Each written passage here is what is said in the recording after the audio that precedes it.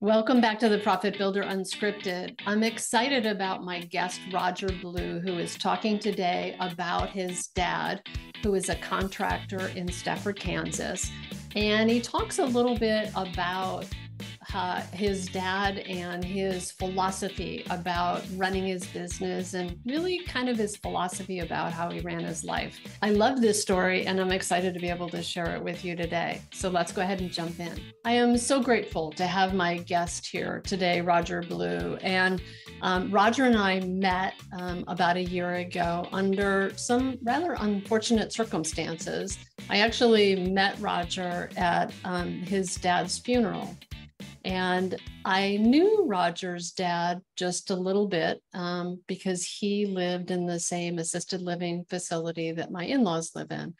And um, I asked Roger to be a guest here today because Roger was the one who delivered the eulogy for his uh, dad. And not only did he do an extraordinary job just delivering it, but his message um, really touched me. It touched me as a daughter. Um, and it also touched me as somebody who works with um, people in the contracting industry that um, Roger's dad was a contractor. And um, I just, so Roger, thank you. Thank you for being here and thank you. You're welcome. Guest and thanks for sharing this story. I know this isn't, you know, necessarily easy. I'm asking you to reread your dad's eulogy um, and especially that I know it's just we're just up up on a one year anniversary for that. So thank you. I really appreciate that. I appreciate your your generous heart for being willing to, you know, to do this today. So um, so I'm gonna let you uh, uh, maybe just take a minute and talk a little bit about you know how you decided to write what you wrote about your dad and and came to you know i don't know just structure if you will the eulogy that you wrote like what was it how did how were you inspired? And then i would like you to read it. I uh, like i said i think it's a beautiful eulogy and i think you did just an amazing job. Well i guess um, in terms of the structure of it um, my two brothers and i sat down and and we kind of listed out some things that we thought were important um, things that were memorable, things that, that um, might connect with with the community and the family and and friends. Um, and uh, and then I I uh, I was tasked with with delivering the eulogy. So the night before the funeral, I sat down and and began to to put the the pieces of it together. And and um, the the metaphor of a carpenter just seemed to fit, and um, uh, and and I was it the pieces just seemed to fit well into that metaphor, um, and uh, so that's that's kind of how it came together. Um, I, I, hope that gets at the answer to your question. Yeah, yeah, totally. Um, and your dad, so, and your dad built. You're you're from a small community, so Stafford, Kansas, and um, but your dad did remodeling work for many years, yeah? Yeah, he was um, he was uh, a carpenter and worked for several other contractors um, for for years, and then um, uh, kind of midway through his career, he he started his own small company here in, in a small town, and and doing construction work in a small town means you're going to do a variety of things. Yeah. And uh, so he he he did build houses. Most of the work was remodels, um, kitchens, bathrooms, uh, additions, basements. Um, you know the whole gamut of things. Um, so um, he was he was um, uh, he was tasked to do many many things in the community um, and uh, uh, as a carpenter as a as a contractor and uh, so so the so the experience is really quite varied. Um, working yeah. in a small town, and it's yeah. it's it's perhaps different from from a from a bigger community uh, where the the a lot of the work is is um, you know building large developments um, and it's nothing like that um, so it's no, but it, you know a lot of the people i deal with and i talk with oh, and with are exactly that. They're remodelers. Mm, they yeah, you know, they work in people's homes and um and you do end up having to be a you know my words jack of all trades especially in small communities where you have to be able to do electrical and plumbing and you know yes um, yes uh, yes all of that as well as carpentry so yes yeah and um the um community that you guys lived in and grew up in when your dad came back to that community i know that um, you know my in-laws had them do some work at their house and then you know yeah. talking to a bunch of other people in that community that um, he touched a lot of lives in the process and um, and and that would i think that's also what made um, you know when when you read your eulogy it's like you have your perspective about like you working with your dad and for your dad and and right. um, you know and, and what you saw in him doing but was also really neat in talking to other people afterwards was how much respect your dad had in the community for the yeah. work that he did and the people that he served and who he supported and i think it's just a good example that sometimes we don't always know um, the, the difference we make in people's lives. We don't always know how we touch people and how we make a difference. And um, yeah, so anyway, I'm gonna let you. I'm gonna let you take it from here and okay and read the eulogy, and then we'll probably chat about it a few minutes. All right, here we go. Straight, level, plumb, square. That's the carpenter's mantra. It starts with straight and level. In the south alley at the lumberyard, there's a straight, level line drawn on a wall. Very early in Dad's career, he bought his first high quality level at the lumberyard in Stafford. But before he left the lumberyard that day, he laid that level against that wall and traced that straight, level line. In the decades that followed, every new level he bought was checked against that line.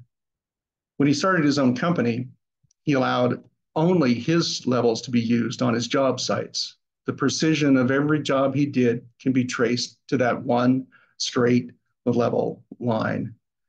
That straight level line perhaps also represents the greater measure of his life with his family, his friends, and his community. To his family, friends, and community, he gave a lifetime of service. Dad served in the Marine Corps from 1951 through 1953 during the Korean War. Mom and dad had been married only a few weeks when dad got his induction notice. After basic training, he was sent to CB Construction School. He finished seventh out of a class of 1,200. That earned him a plum assignment, opening, opening a new carpenter shop at Marine Corps Air Station Tustin in Santa Ana, California. Dad sometimes joked that he fought the Battle of Southern California he was asked to select four other Marines from his CB class to fill out the crew for the new shop.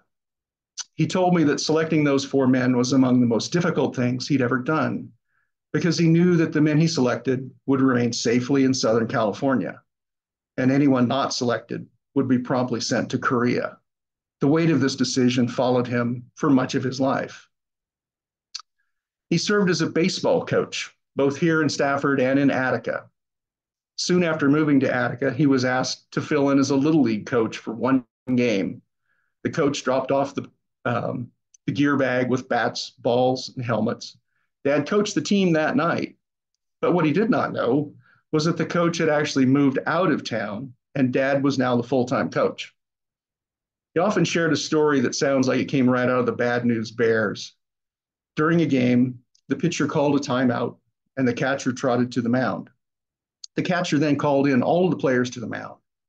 A spectator asked Dad if, if he should go out to the mound too. Dad replied that he trusted the boys and he would go out to the mound only if they called for him. Soon enough, the boys broke the huddle and the game continued.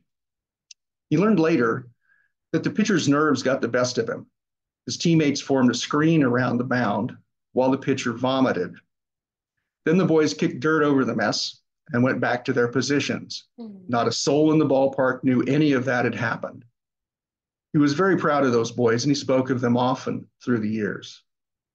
Dad was also active as a volunteer with Cub Scouts and Boy Scouts, especially when mom was a den mother. Not surprisingly, we Cub Scouts did a lot of craft projects involving woodworking. Mm-hmm. And dad endured more than his share of really bad Boy Scout camp cooking. During one memorable outing, when I was a tenderfoot, my platoon leader, a first class scout, did all the cooking. The camp out was in the spring, and we woke to a cool morning. I was starving. The platoon leader cooked what he called big eggs. Basically, beat the eggs, dump them in a skillet that was far too hot, and leave them alone until the curd fully set. Of course, they were scorched, and the first bite nearly made me puke. But I was so hungry, I grabbed the ketchup bottle and poured it on. Dad saw me wolfing down those eggs and figured he'd better get over and get some too. He nearly lost it with the first bite, but did not show it. Big eggs became a long running joke in our family. Mm-hmm. But I also experienced Dad cooking a camp breakfast on his ancient Coleman stove for about a dozen Webelos scouts and their dad, dads. I remember as a 10 year old boy watching dad prepare that meal, and I felt so incredibly proud of him and proud to be his son. Dad also served as a volunteer firefighter. My brothers and I remember the sound of his old 1960 F 100 straight six, three on the tree, winding up for each gear, screaming away towards the fire station. That must have been quite a rough ride over Union Street's rough bricks. Along with his devotion and service to his family, friends, and community, Willie engaged in a lifetime of silliness. One summer day a few years ago, Dad's grandsons were visiting. Pardon me, Dad's great grandsons were visiting. They were out in the yard having a water fight. Great Grandpa Willie surprised everyone when he stepped outside brandishing a fully loaded super soaker water gun. He used his superior firepower to quickly subdue the boys. We have no idea why or how, in his late 80s, Dad obtained a super soaker. Dad gave his grandchildren their first driving experience while visiting Grandma and Grandpa Blue in Stafford. This became an important rite of passage for them, just as it has been had been for my brothers and me. As with his own children, grandchildren, and great grandchildren, any baby who made eye contact with Willie received his signature quack in return, usually evoking a smile and a giggle. Dad enjoyed engaging curious children who might wander onto a job site. Dennis and Linda Siefkes reminded me just last evening of Dad giving their then five year old son, John, a pile of scrap lumber to build whatever he wanted. And just a few days ago, I received a message from Dale Latta, remembering Dad when he was part of the crew building an addition to the Latta home in 1960.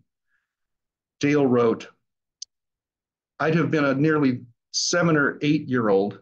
Um, I was fascinated by the whole process, probably had a thousand questions. I remember his kindness and his patience.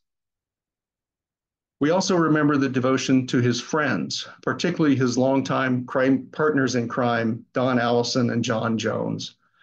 For a lot of years, Dad, Don, and John fished together at Stafford Lake and had weekend fishing trips to Lake Wilson or Lake Kanopolis. Don and John were great role models for my brothers and me. Watching the three of them together showed us the importance of developing and maintaining close friendships, even as we grew into adults. Fighting the Battle of Southern California in the 1950s meant there were beach parties.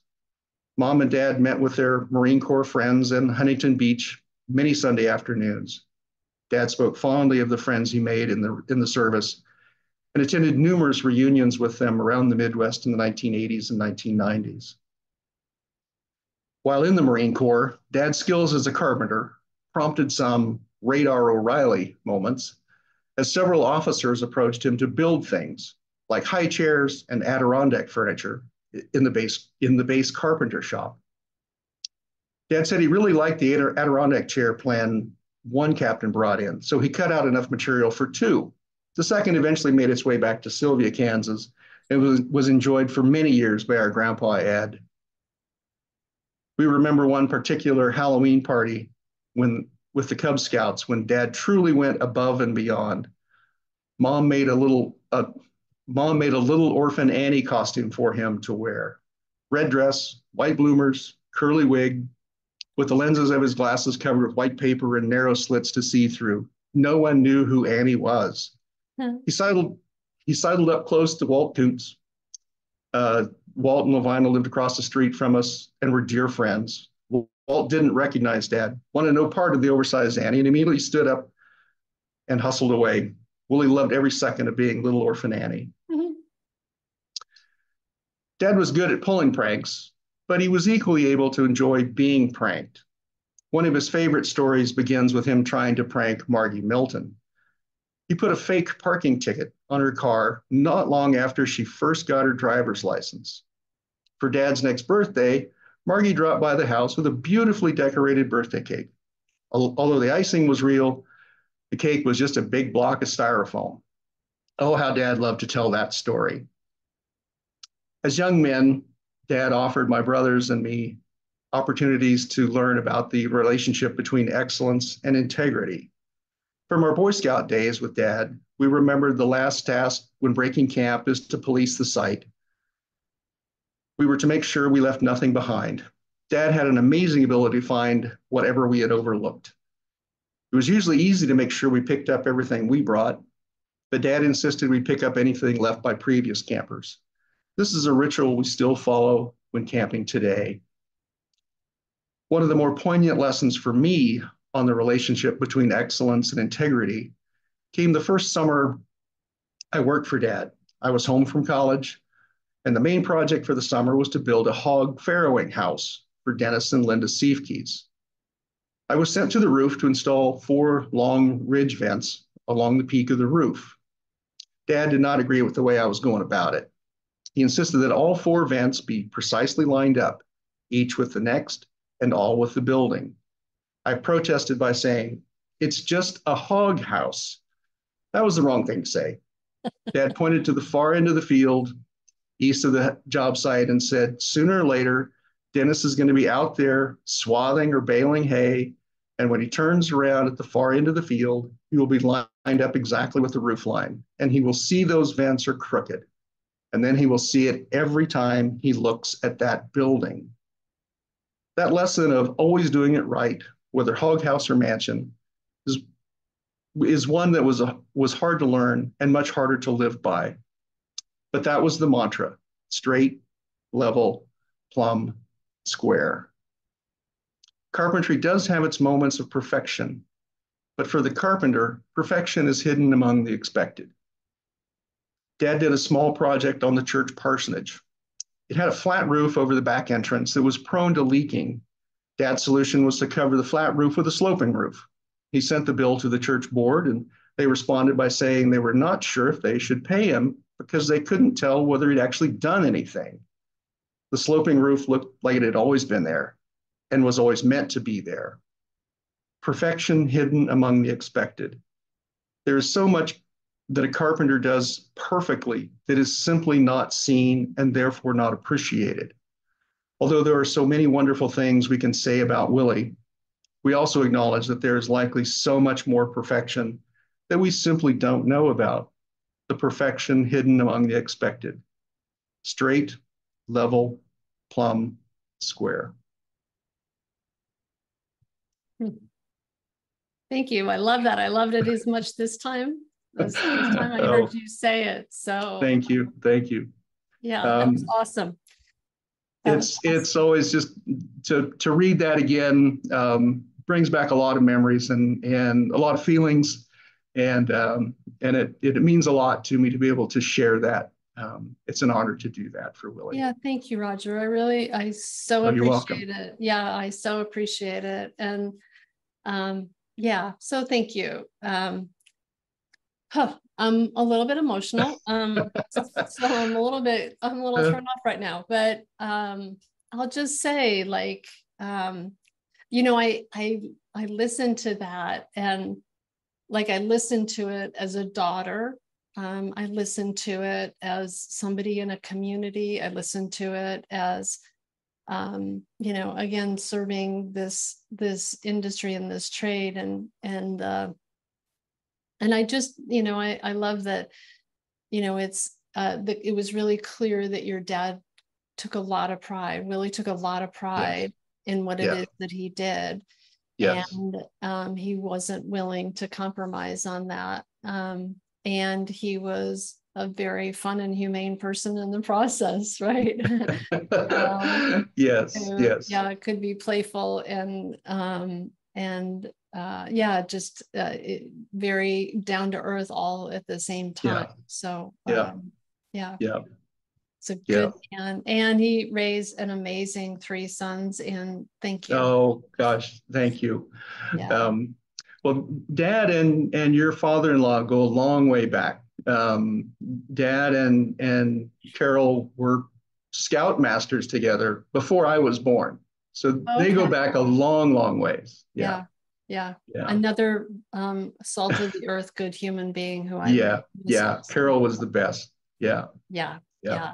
Good, good man. Yeah. Well, Roger, thank you. Um, I'm I so appreciate you, you sharing this again. Again, I know that you know we're on the one year anniversary, and yeah, um, it takes courage and uh, and a special heart to be willing to come and share this story. So thank you. And thanks again, everybody, for being here today and listening or watching if you're on YouTube. And make sure to um, join or subscribe below. And we'll look forward to seeing you next time on the Profit Builder Unscripted.